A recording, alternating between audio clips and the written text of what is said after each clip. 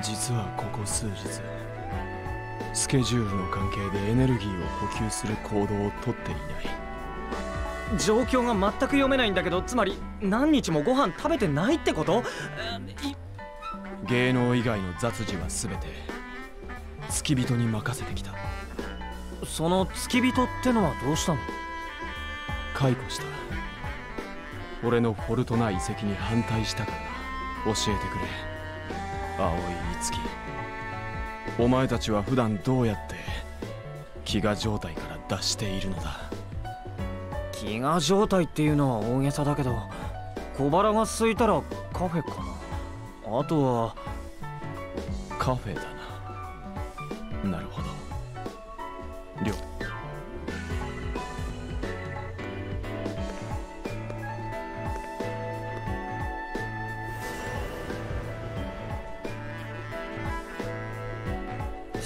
了心配だな。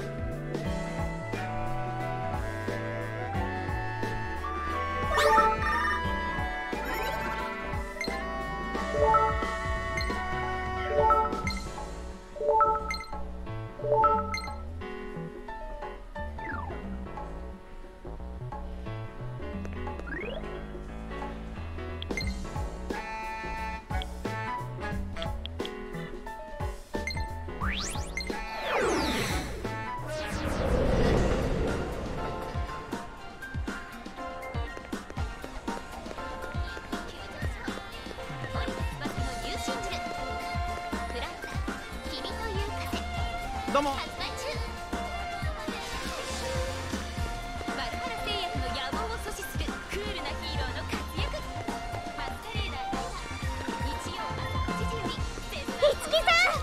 賛。守り？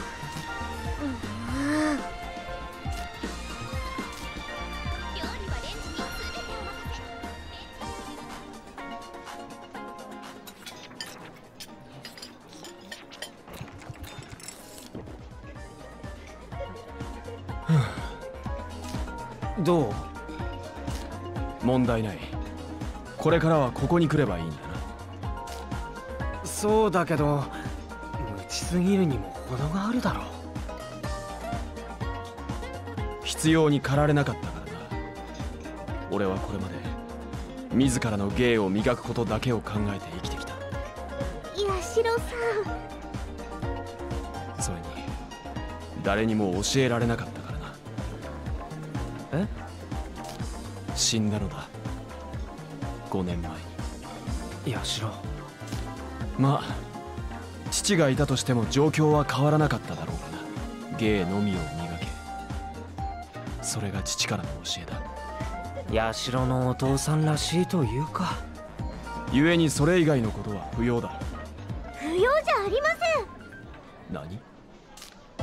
たとえレンジでチンでも料理番組に携わる者として見過ごせません。この状況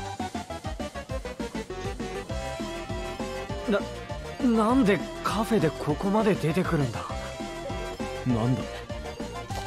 八代さん表現者にとっても食事は大切なことです。料理番組旅番組ドラマの役で必要になるかもしれない。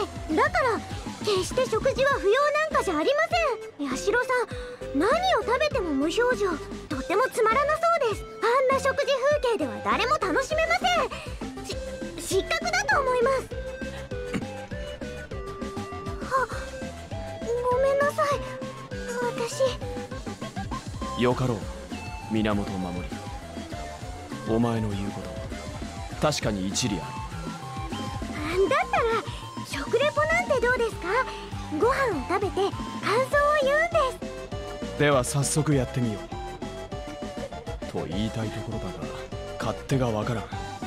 青い月まずはお前が手本を見せろ。俺が？分かったよ。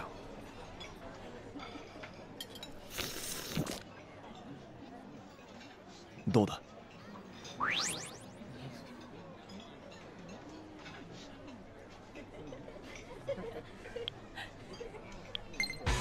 濃厚なスープが麺に絡み絶妙なバランスを醸し出している。ほど魚介系か。口に入れるだけでとろけるチャーシュー。シャキシャキとした歯ごたえが嬉しいメンマ。これだけのラーメンが食べられるなんて。って感じでどうかな。おおなかなかの表現力だ。なるほど。これが食レポというものなのか。では次はこのショートケーキだ。私も聞きたいです。分かったよ。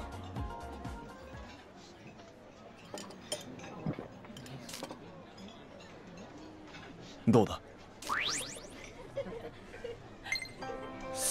のふんわり感そして丁寧に泡立てられたクリームの柔らかな舌触り。春の日だまりのもと暖かいお布団の中で二度寝しているみたいだ。いちごも新鮮で程よい酸味がケーキ全体を引き締めている。これは美味しい。って感じでどうかな？うん。八代さん？大体分かったぞ。食レポの極意それは見る者の下にその味を伝える圧倒的な描写力そして見る者の心に訴えかける怒涛の表現力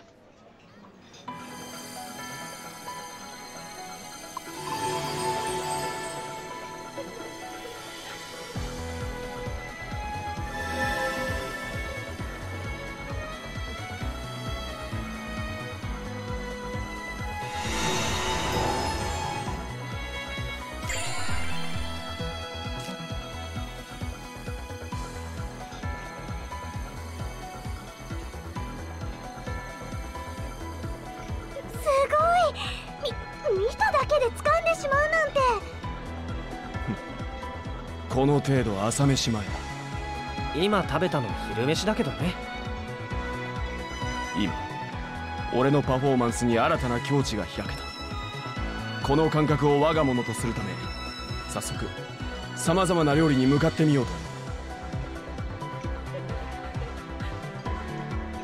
ではな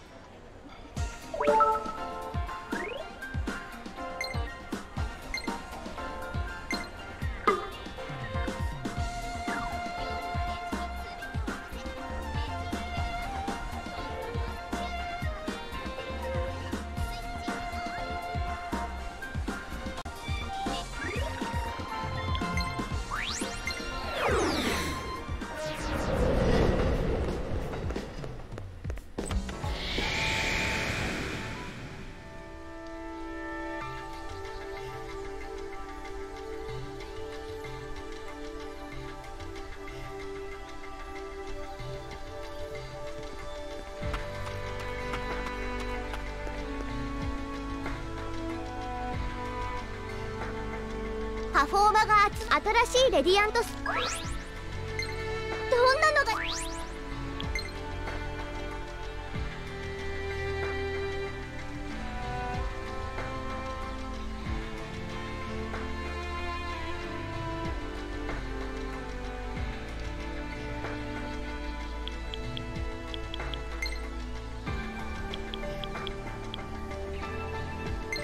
これでいいかそれじゃあユニティするよ。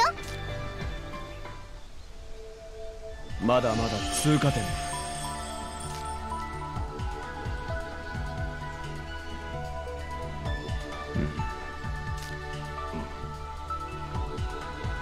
だナバール。なんだ？俺が飢えていた時貴様はどうして黙っていた？俺が何かを言ったとしても状況が好転する見込みはなかった。だから黙っていた。そうか。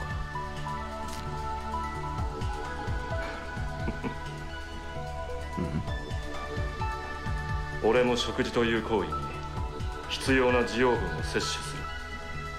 という以上の意味を見出したことはなかった。だがこのような向き合い方もあるのだなこれだから芸能というものは面白い。ああ。まだまだ学ぶことがあるようだな。俺にも。お前にも。そのようだな。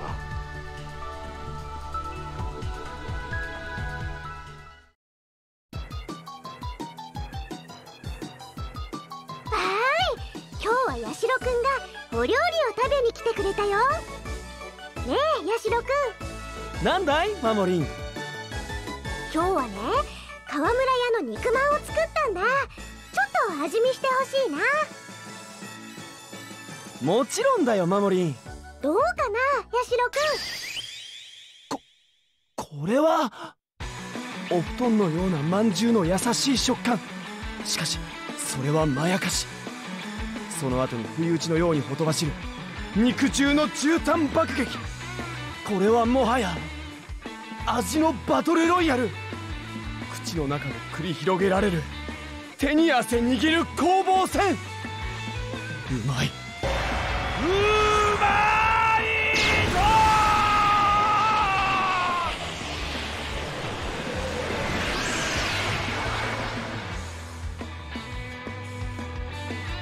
すごいやマモリンやっぱりレンチンは魔法だね。僕の心の温めもスイッチオンだ。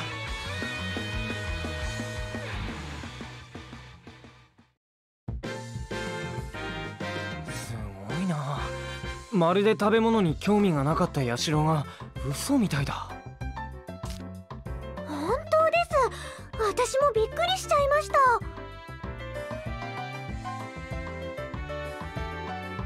お前の手本を参考にさせてもらったヤシロの方がずっと良かったよ。